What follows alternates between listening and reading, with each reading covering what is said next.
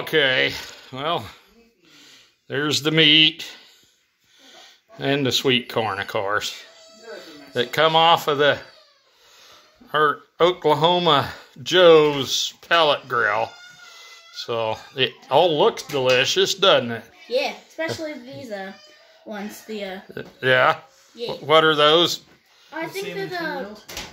No, I was talking about these. Uh, I think these are the Hawaiian and the uh pork, bacon, and cheddar or something like that. Pork, bacon, and cheddar. I think these two are Hawaiian, and then these two um pork, bacon, and cheddar. I But think. these come out of the package that said Hawaiian. Oh, those did. Uh huh. oh. So then these are probably all of them. I thought the ones were cheddar. So then, I don't know. These are probably all just pork, bacon. And there is sirloin tip steak and uh, salmon and crab pinwheels. Or are they Krabby Patties from SpongeBob? I guess.